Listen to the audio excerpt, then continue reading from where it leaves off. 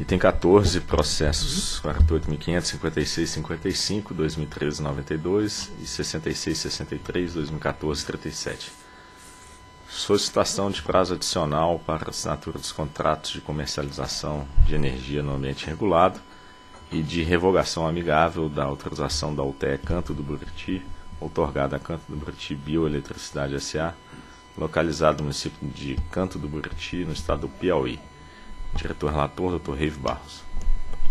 É, nesse voto que nós vamos deliberar, tratamos de duas questões. O primeiro é uma solicitação de prazo adicional para a assinatura do CCAR, é, e o segundo é a revogação amigável da autorização. O segundo, da perda de objeto do primeiro, né? uma vez que há uma solicitação de revogação amigável, não se justifica também assinar o CCAR. A UTE é Canto Buriti, Bioeletricidade, Canto do Buriti se sagrou vencedora do 16º leilão de energia nova, o AMER5, realizado em 29 de agosto de 2013, com início de suprimento em 1 de janeiro de 2018, conforme regras do edital do leilão 06-2013. A Canto do Buriti está obrigada a assinar contratos de comercialização de energia eh, no ambiente regulado. A portaria do MME, a 064, autorizou a exploração em regime de produção independente de energia da UTE Canto do Buriti, situada no estado do Piauí, constituída de três unidades geradoras de 50 MW em ciclo Rankine, totalizando 150 MW de capacidade instalada e 119,1 MW média de garantia física de energia, utilizando o cavaco barra resíduo de madeira como combustível. No processo 48.500.006663-2014, dígito 37, o agente requereu, por meio de correspondência sem número em 4 de dezembro de 2014, primeiro, a concessão do prazo adicional de quatro meses para a celebração do CCR, e segundo, uma prorrogação proporcional dos marcos constantes do cronograma de implantação da usina, e terceiro, a prorrogação da data de início de suprimento por sete meses. Esse requerimento foi analisado pela SRM por meio da nota técnica 028, em 26 de fevereiro de 2015, que concluiu pelo indeferimento do pedido por não reconhecer as alegações de excludente responsabilidades apresentadas. O processo foi encaminhado à diretoria e a mim distribuído em 9 de março de 2015. No dia 26 de março de 2015, recebi representantes da Canto Buriti, oportunidade em que os mesmos expuseram as dificuldades ora enfrentadas pelo projeto. Foi solicitada a formalização das questões trazidas para análise aprofundada pela relatoria, o que ocorreu em 30 de abril de 2015.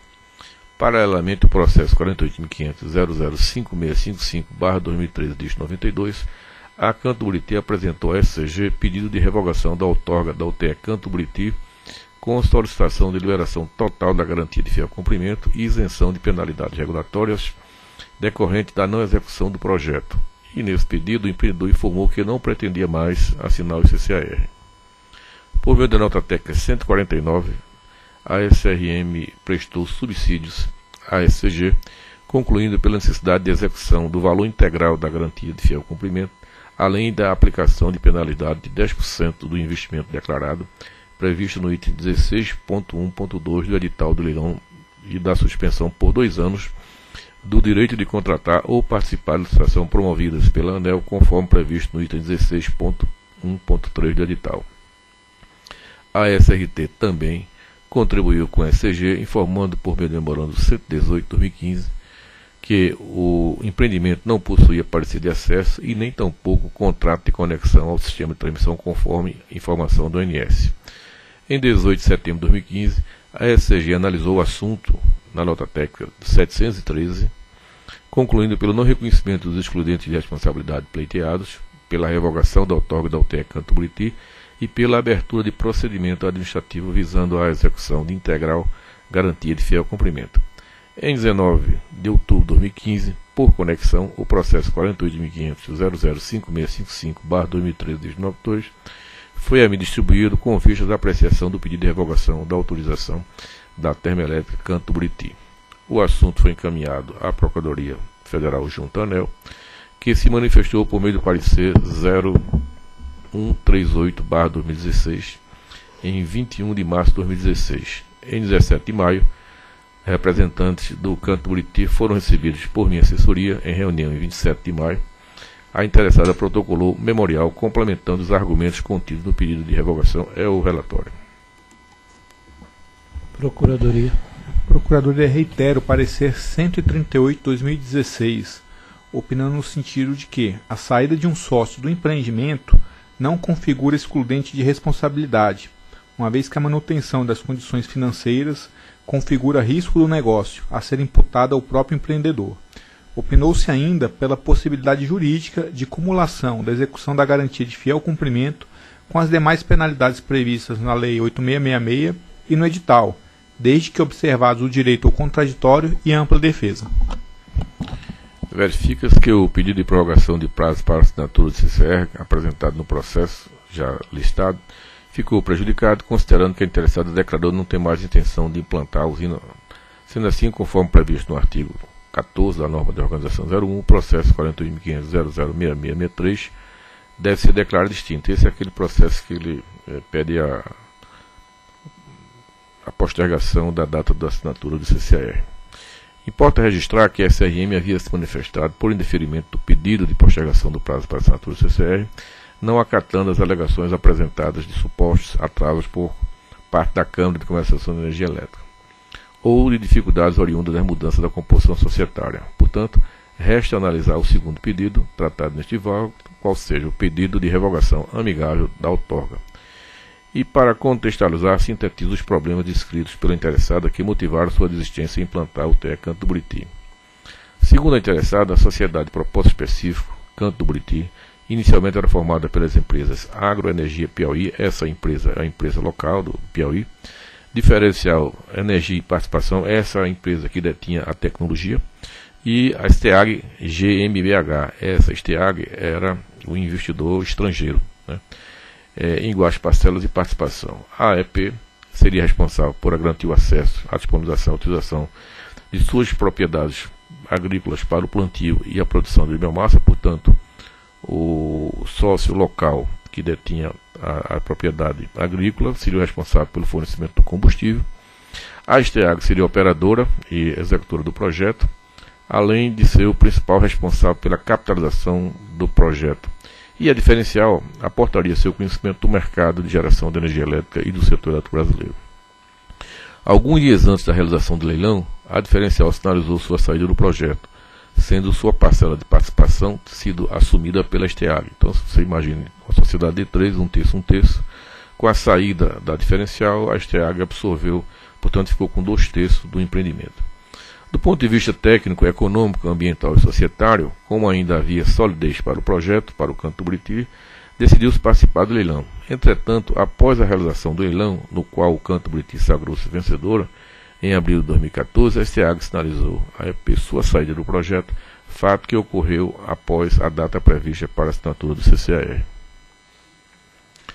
A Atriz Corp, empresa controladora da EP, assumiu as parcelas de participação da STEAG. Confiando em um cenário econômico e político favorável à busca de novos investidores, a Canto Buriti manteve o projeto com investimentos iniciais em licenciamento ambiental, consultorias florestais e engenharia. No entanto, por se tratar de projeto de capital intensivo, em razão do crescimento abrupto do custo e da oportunidade de capital ao longo do ano de 2014, a Canto Buriti não obteve sucesso na busca de novos sócios estratégicos e nessas condições não logrou êxito em obter financiamento junto ao Banco Nacional de Desenvolvimento Econômico e Social. Portanto, numa análise de projeto feita bem BNDES, na época você tinha três sócios e com esse AG que tinha um suporte estrangeiro importante, certamente com apenas a, a EP isso dificultou de sobremaneira a obtenção do financiamento por parte do BNDES. Isso foi pelo menos uma das alegações apresentadas quando nós fizemos a, a reunião com a nossa assessoria. Segundo a Canto Buriti, nesse cenário as chances de sucesso eram remotas, sendo a desistência do projeto medida prudente e responsável. Além disso, por entender que estava realizando o pedido de revogação com antecedência suficiente para que o Poder Concedência encontrasse alternativas e soluções face ao cancelamento do projeto. A Canto Buriti solicitou a liberação total de garantia de fiel cumprimento ou, subsidiariamente, a liberação parcial da garantia de fiel cumprimento e no valor correspondente à diferença entre o valor da garantia de fiel cumprimento e o valor da garantia de participação no leilão, além da isenção de penalidade regulatória decorrente da não execução do projeto. E naquela oportunidade, é, também é, preocupado com o empreendimento, evidentemente que esse empreendimento ele foi oferecido a diversos empreendedores. E percebeu-se que é, você tinha um contrato, evidentemente tinha um bid, um bid importante, mas pelas informações que nós obtivemos de alguns é, empreendedores, o valor bidado não seria um valor suficientemente atrativo para suportar esse projeto. Portanto, ele também teve dificuldade em repassar esse empreendimento para terceiros. Consultada sobre o assunto, a SRM manifestou ser contrária ao pedido apresentado.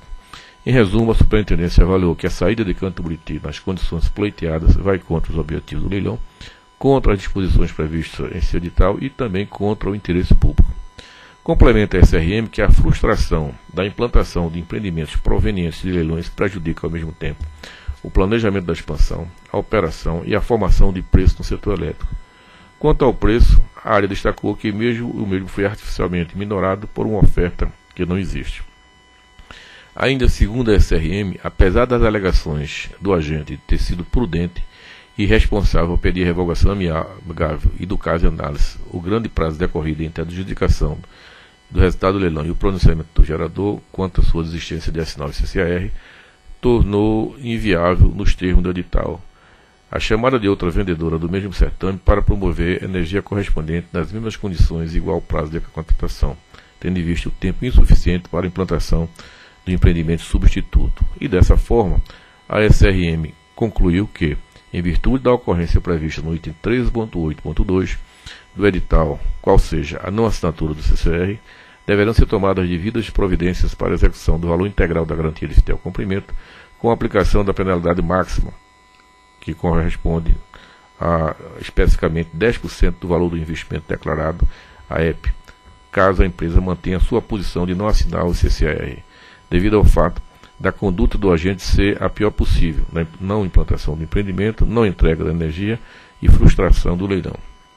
Adicionalmente, considerando que a possibilidade do agente solicitar a revogação da outorga para reapresentar o projeto em futuros leilões com vistas à obtenção de preço mais alto, tem como conduta de não cumprir seus compromissos ao não implantar o empreendimento e frustrar a contratação de 32% da energia do produto disponibilidade no leilão 06 de 2013.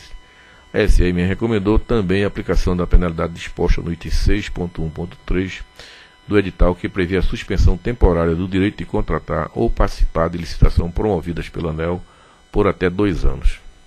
Conforme relatado na nota técnica 713, a SCG divergiu em parte da SRM contra a possibilidade de aplicação das penalidades previstas no edital o 06-2013, recomendando tão somente a execução integral da garantia de seu cumprimento.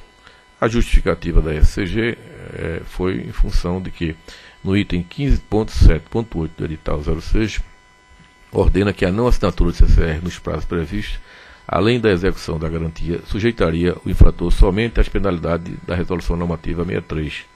E segundo a SCG, as demais penalidades presentes no item 16 do edital, ou seja, multa e suspensão temporária de participação, poderiam ser aplicadas apenas ao agente vendedor, condição que, no entender da SCG, o canto Buriti não assumiria caso tivesse assinado CCR. Então, a divergência entre uma área e outra é simplesmente porque o fato da canto Buriti não ter assinado CCR, portanto, é, na visão da SCG, ela não se caracterizaria como é, vendedor. Portanto, como nós tínhamos duas posições, uma, uma visão é, um pouco mais restritiva da SCG e uma outra mais ampla da SRM, nós é, consultamos a, a, Procuradoria Federal junto ao ANEL, que declarou que existe é, vedação à execução de garantia de fiel cumprimento, cumulativamente com a aplicação das penalidades contidas no edital 066-2013. E, de fato, o item 16.1 do edital, que inicia a secção das penalidades, é claro, ao prever que, sem prejuízo da execução das garantias,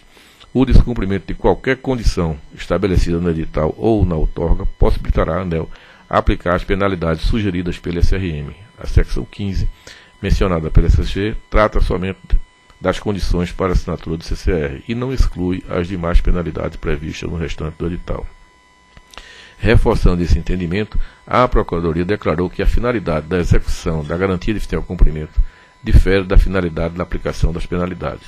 A garantia de fiel cumprimento tem por escopo a cautelar a administração, os consumidores e compradores em face dos insucessos da contratação e contra os prejuízos oriundos do não cumprimento da obrigação contratual de instalar o empreendimento de geração conforme acordado. E desta forma não há bis idem, haja vista que as medidas aplicáveis ao agente em caso de não observância dos deveres previstos em edital ou na outorga pertencem às esferas distintas e independentes em relação à execução da garantia de fiel cumprimento.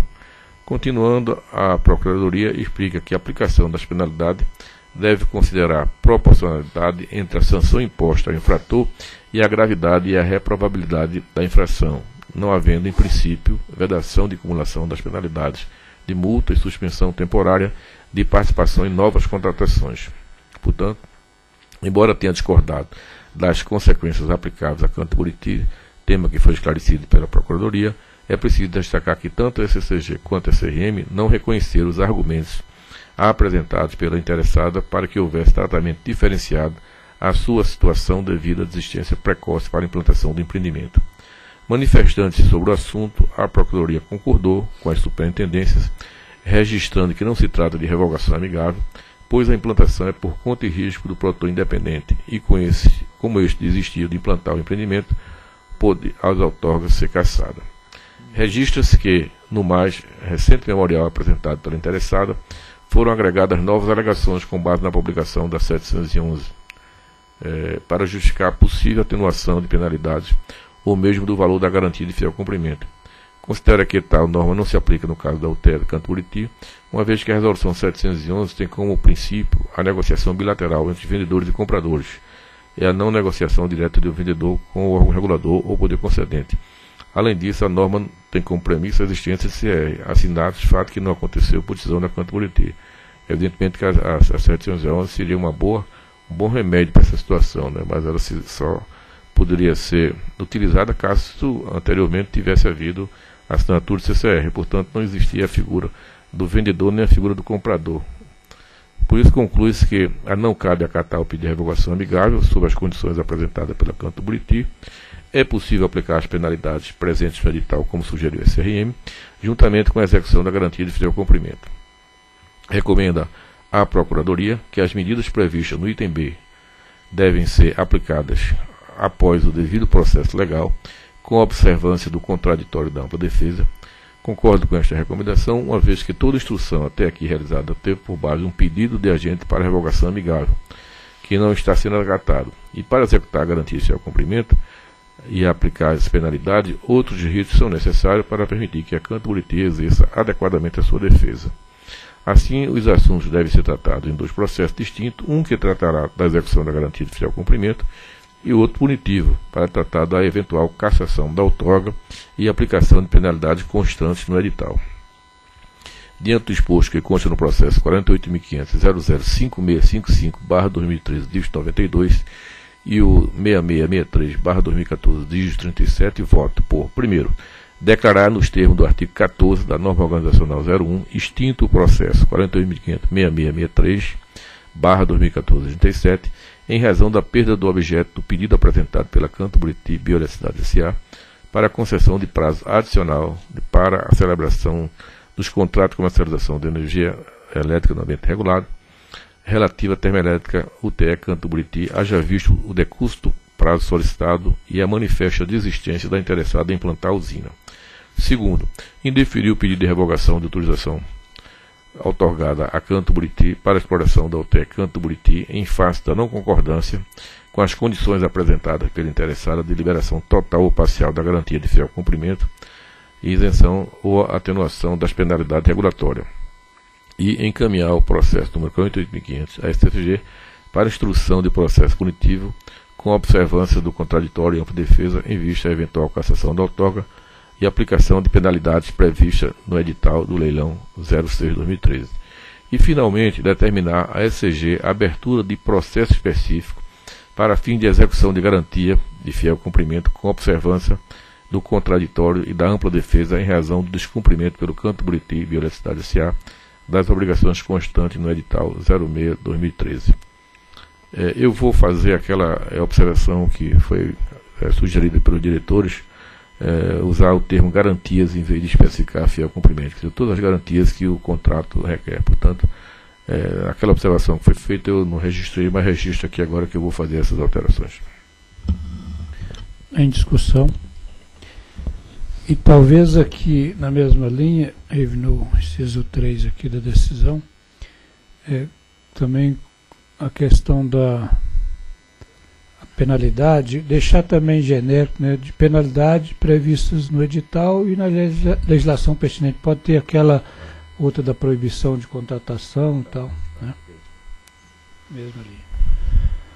Ok. Em votação. Eu voto com o relator. Também voto com o relator. Também acompanho o relator. Também voto com o relator.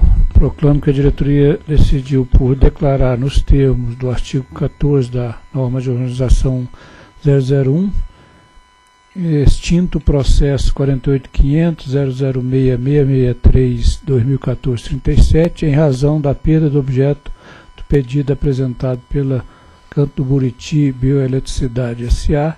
para concessão de prazo adicional para a celebração dos contratos de comercialização de energia no ambiente regulado relativos à usina termoelétrica TE Canto do Buriti, haja visto o decurso de prazo da, desde a solicitação da manifesta desistência do interessado em implantar a usina.